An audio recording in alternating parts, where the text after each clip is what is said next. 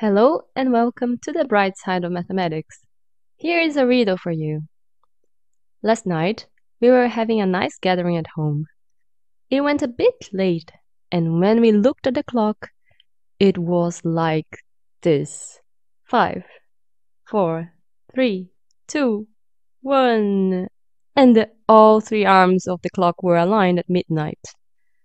Then one friend stood up and said, all right, time to go, but see you tomorrow when all three arms of the clock are again aligned. When will that be? Please answer in the comments below.